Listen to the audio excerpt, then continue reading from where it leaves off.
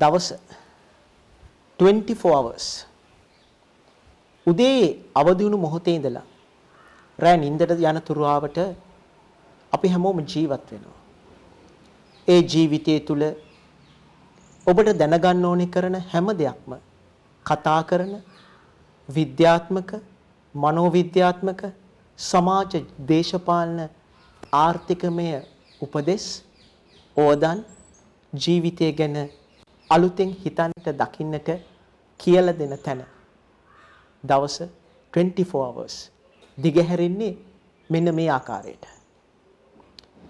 ඔබ දන්නවද ඉපදුණු හැම මිනිස්සෙක්ම තමන්ගේ ජීවිතය ගත කරන අරමුණක් තියෙනවා. ඒ අරමුණ සොයාගෙන ඒ අරමුණ සාක්ෂාත් කරගන්නටමයි මේ මහ පොළොවේ පය තියලා ඇවිදින හැම මිනිස්සෙක්ම උත්සාහ කරන්නේ. ඒ අරමුණු තුල අපි හැමෝම හොයන්නේ අපේ සතුට. ජීවිතයේ සැනසීම. මෙන්න මේ සතුට සැනසීම පුද්ගලයාගෙන් පුද්ගලයාට වෙනස් වෙනවා. නමුත් මනුෂ්‍යත්වයේ නාමයෙන් අපි හැමෝගෙම අරමුණු එක තැනකට එනවා. අපි හැම දෙනාගේම අරමුණු එක තැනකට ගන්නටයි මේ වීඩියෝ මාලාවෙන් අපි උත්සාහ කරන්නේ. ඔබ මේ දවස්වල ආතතියෙන් ඉන්නව ඇති නේද? ආතතිය තරම් අපි කතා කරන ආතතිය තරම් අපි තේරුම් නොගත්ත දෙයක් තවත් ඇත්තේ නෑ. ඒ නිසාම පළවෙනි වීඩියෝ එකෙන්ම අපි කතා කරමු ආතතිය ගැන. ආතතිය ඔබටත් මටත් බොහෝම හුරු පුරුදුයි.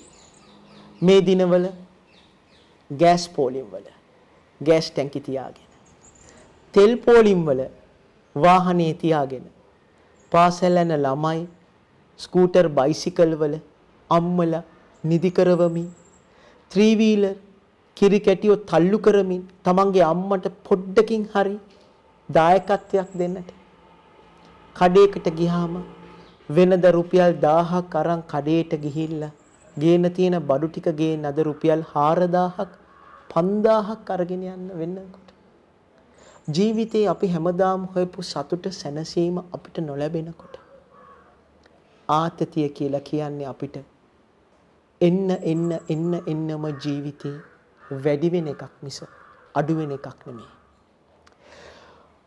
මේ අදත් මේ පටිගත සිදු කිරීම සිදු කරන දවසෙත් පෙට්‍රල් මිල ඩීසල් මිල වැඩි වුණා. ඒ හුදෙක් තෙල් මිලවල වැඩිවීමක් නොවේ. එයත් සමගම අනිකුත් බඩු මිල, ඖෂධ, ආහාර සියලුම එකී නොකී අවශ්‍යතා ටික වැඩි වෙනවා.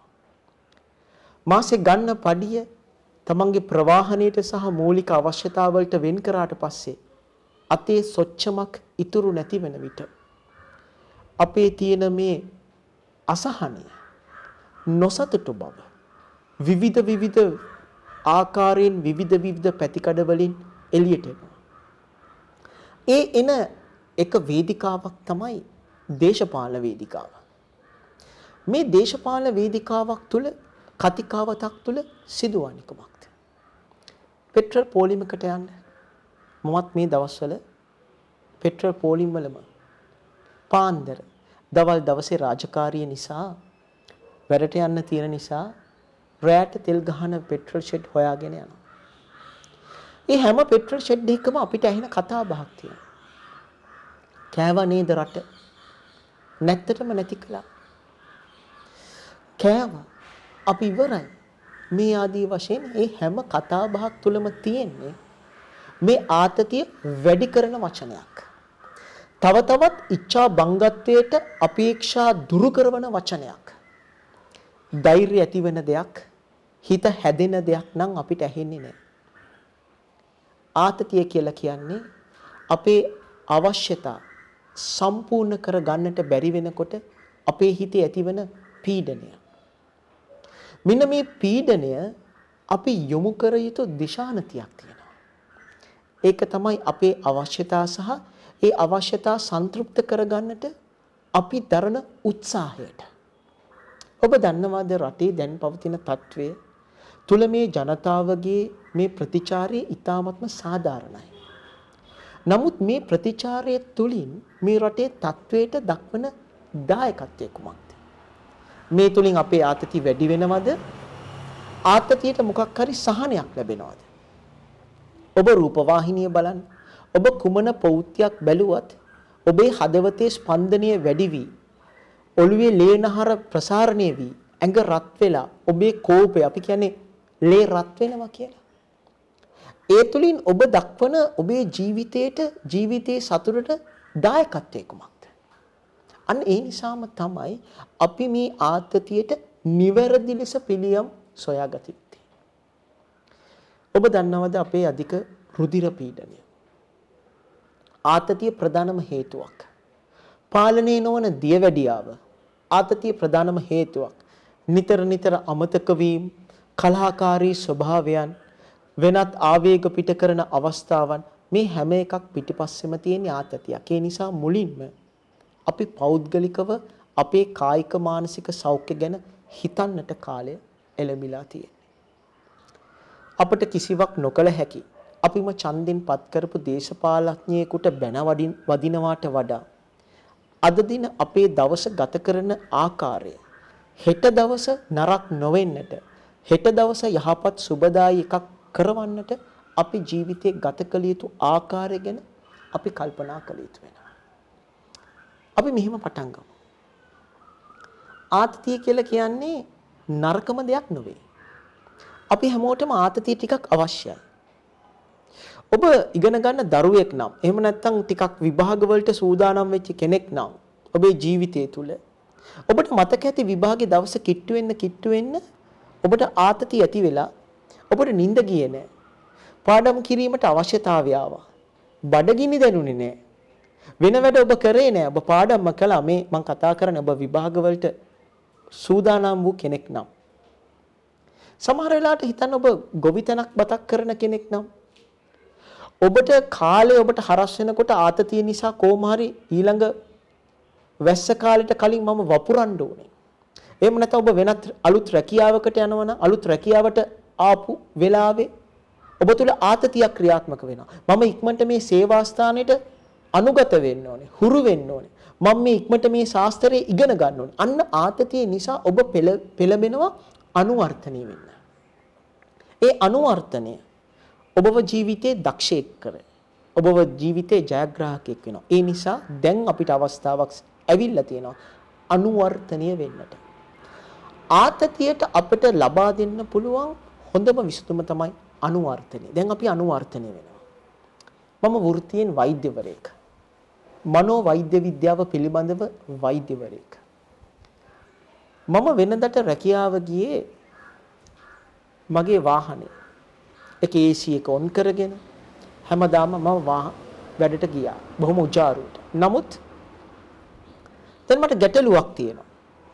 බොහෝ වෙලාවට සතියකට මට ඉන්න පුළුවන් තෙල් පෝලිමකට එක සැරයයි.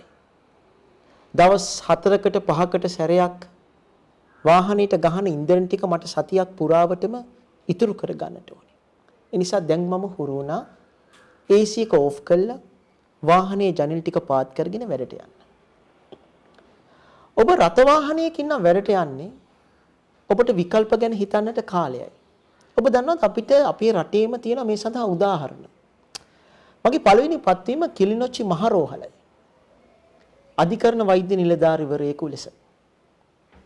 රෝහලට ගිහිල්ලා හි සංස්කෘතිය හරිම වෙනස්. උතුරු පළාතේ ගෙවල් අපේ ටිකක් පරණ ගෙවල් වගේ. එහෙමයි මට මතක් වුණේ ඒව දිහා දැක්කහම. මිනිස්සු ගොඩක් ගමන් බිමන් ගිනේ බයිසිකල් වල. මට මතකයි අපේ රෝහලේ ශල්‍ය වෛද්‍ය විශේෂඥවරයා වැඩට ආවේ බයිසිකලේ. බයිසිකලේ ඇවිල්ලා පුෂ් බයිසිකලේ ඇවිල්ලා තියටර් එක ළඟ පඩිපෙළේ නවත්තලා ඔහු තියටර් එකට ගියා. බලන්න විශේෂඥ වෛද්‍යවරයෙක් නිකමට හිතන්න චැලෙන්ජින් සෙන්ටර් එකට බයිසිකලයකින් ආවොත් කොහොමද ඔබේ දැක්ම? අන්න ඒ දැක්මයි දැන් වෙනස් කරගත යුත්තේ. අපි සම්මත රාමයෙන් ඔබට හිතමු. gedara ඔබේ අවශ්‍යතා මොනවද? ඒ අවශ්‍යතා වලින් ඔබේ වියදම් මොනවද? ඒව ඔබ කපා හරින්නේ කෙසේද? ඔබ දන්නවා රට යන ආර්ථික තත්ත්වයක් එක්ක මේ සුක්කානම කවුරු අතට ගත්තත් අපි මුහුණ දිය යුතු සැබෑ යථාර්ථයක් තියෙනවා. මේ බඩු මිල කිසි ලෙසකින්වත් අඩු වෙන එකක් නොවේ ඉහළ යන එකක්. ඒ නිසා ආතතියට අවශ්‍ය වෙනවා කලමනාකරණය කරගන්න. ඔව් අපි දන්නවා ආර්ථිකය කලමනාකරණය කරනවා වගේ පිරිස් කලමනාකරණය කරනවා වගේ ආතතියත් කලමනාකරණය කළ යුතුයි. ඒකට අපි තේරුම් ගන්න ඕනේ ආතතිකාරක මොනවද? පොඩි උදාහරණයක් ඉන්ධන නම් ඔබේ ආතතිකාරකය. ඔබ කොහොමද ඉන්ධන ඉතුරු කරගන්නේ? ගෑස් නම් ඔබේ ආතතිකාරකේ කොහොමද ඔබ ගෑස් වලට විසඳුමක් පිළියමක් හොයන්නේ? ඔබ දන්නවද දැන් විවිධාකාර පිළියම් මාධ්‍ය තුලින් සමාජ ජාලා තුලින් අපි අහනවා දකිනවා. මේ පොල් කටු ලිප වැඩි දියුණු කර දල දර ලිප මේ පිළිබඳව කතා කරනවා. මම මගේ පුංචි ගෙදරින් උදාහරණයක් ගේන්න. ගෙදර ගෑස් ටැංකි දෙකක් තියෙනවා දෙකේම ගෑස් නැහැ. ඒ වුණත් අපේ අම්මා කවදාවත් කිව්වේ නැහැ පුතේ ගෑස් නැහැ කියලා.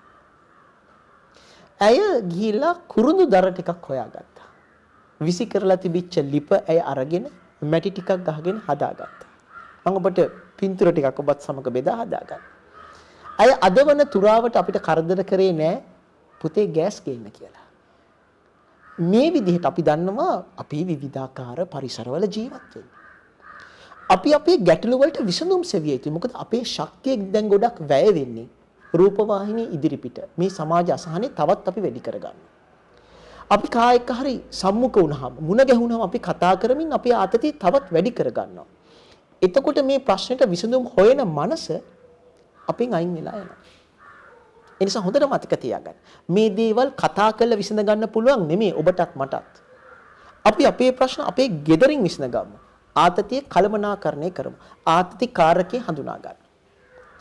දෙවෙනි කතාව තමයි ආතති ප්‍රතිචාරය. අපි මේකට කොහොමද ප්‍රතිචාර දක්වන්නේ? අපි දැක්ක පහුගිය දවස්වල බොහොම සමාජ විරෝධීව ප්‍රතිචාර එල්ල වෙනවා. ගෙවල් ගිනිබත් කරනවා, ජීවිත නැති වෙනවා, බස් ගංගා වලට බේරි වලට පෙරලෙනවා. බොහෝ දෙනා තමන්ගේ ආතතිය පිට කරත් ප්‍රචණ්ඩත්වයකින්. සමාජ විරෝධයකින්.